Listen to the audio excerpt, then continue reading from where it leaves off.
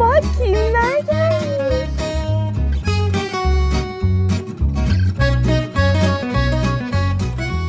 Bugün Mira'nın birinci yaş günü. Bu günleri görebilmek çok değişik bir duygu, çok değişik geliyor bana.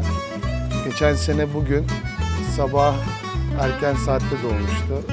Bugün ilk yaşını kutluyoruz. Ee, bizim kızımız bir yaşına bastı. Bir seneyi geçirdik. Hani beni anne yaptı, Bahadır'ı baba yaptı Miray. Seçti gelmek için. Hani çok güzel bir, bir sene geçirdik. Hani derler ya umarım mezuniyetlerini, evliliğini, çok güzel günlerini de görürüz böyle.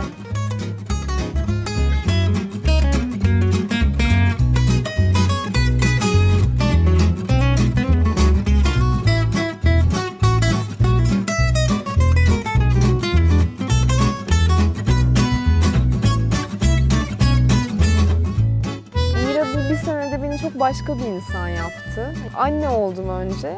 Ondan sonra gerçekten eskisinden daha anlayışlı oldum. Herkese daha sakin, daha toleranslı yaklaşmaya başladım. Çünkü herkesi bir annenin çocuğu olarak görüyorum. Annelik herhalde insana böyle bir şey veriyor. Mira bizi çok büyüttü. Bahadır'da da ben o değişimi görüyorum. Bir senede olgunlaştık. Olgunlaştık evet. Bir sene. Yani Mira bize aslında şey gibi biz ona bir şeyler veriyormuşuz gibi görünüyoruz. Ama hayır Mira bize çok çok fazla şey kattı. Bir mutlu bebek nasıl mutlu oluyor göstersene.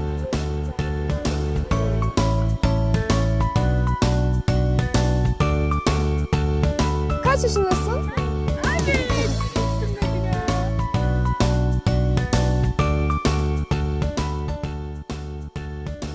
Mira'yı arkadaşlarıyla kıyaslamadık. Çünkü hepsinin gelişimi farklı. Ama şöyle güzel bir nokta var. Birlikte olduklarında birbirlerinden çok fazla şey öğreniyorlar. Yani sosyallik çok önemli. Hani Mira yapamadığı şeyleri arkadaşlarını görünce yapıyor. Yani mesela çimleri ellemezdi. Arkadaşlarının çimleri ellediğini gördü bugün.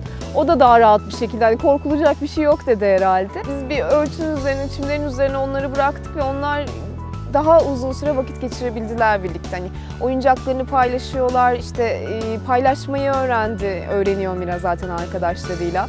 O almak istiyor, öteki vermek istemiyor. Yani eskiden müdahale etmek durumunda kalıyordu. Birbirlerine çok dokundular bugün. Te- temas halindelerdi sürekli. Çok farklılar yani hepsi aşağı yukarı aynı yaşlarda ama bir tanesi yürüyor, bir tanesi e, el becerisini daha fazla geliştirmiş. Hani çok fark var Algısı daha fazla oluyor Algısı bazısının. daha açık oluyor. Mira mesela biz e, görüyoruz, gözlemliyoruz sürekli.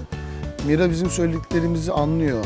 Arkadaşlarıyla daha ben farkındalığı artarak vakit geçirdiğini düşünüyorum artık.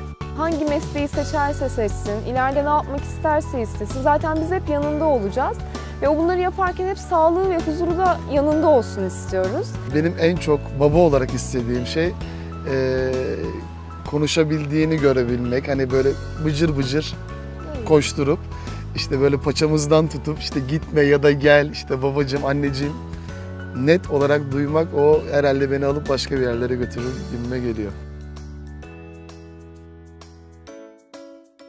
Mutluyum ben sana. Ana alkış, alkış.